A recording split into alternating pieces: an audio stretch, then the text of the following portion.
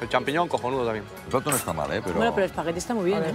técnicamente... Pero no sabe a lo que debería ser. Pero es muy suave y no sabe, No sabe el aceite de. Yo de pequeña metí la cabeza entre esos bichos del parque y tuvieron que venir los bomberos y, y quedé encajada. Te pega, al revés, te pega total.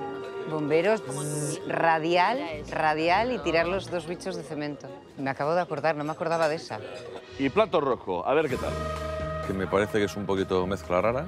Mira, un collage. A ver. Eh, es un collage. No sé si es un plato de espárragos, de erizos, de un plato mexicano. El emplatado, nuestra edición con los espárragos, ¿Cómo se nota que no vieron la edición 11? eh?